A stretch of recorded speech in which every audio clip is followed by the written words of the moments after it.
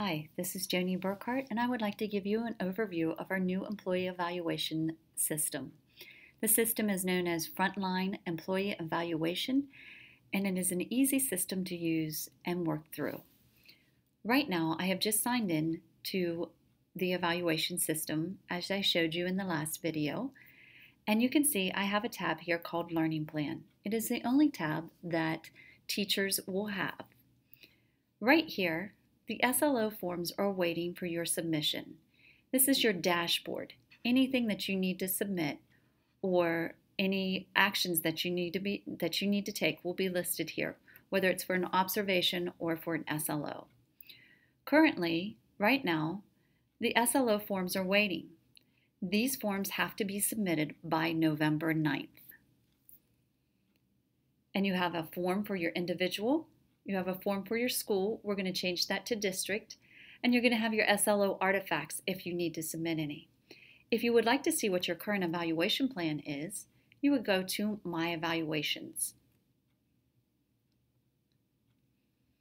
Click on Evaluations.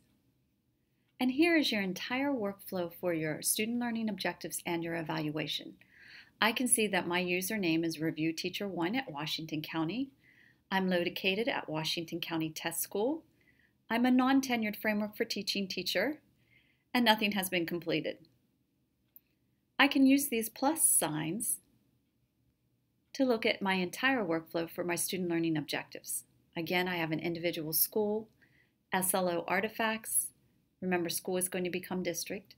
Mid interval form where I'm going to meet with my principal at the middle of the year to discuss how I'm doing with my SLOs, and then the target results where I will enter any of my results that have occurred throughout the year. Because I'm a non tenured teacher, I have four observations. I have observation assessment one, and I can just make that smaller. There we go, by hitting the plus and minus. And in an observation, the only thing that a teacher has to complete is a pre observation form, the teacher observation, and then a post observation form. Because I'm non tenured, again, there are four. And then at the end of the year, my summative evaluation with my rating will be, will be right here. And what this will be is a combination between your growth scores, which are your SLO scores, and your professional practice scores. If you are not a non tenured framework for teaching teacher, if you're tenured, you would only have two observations.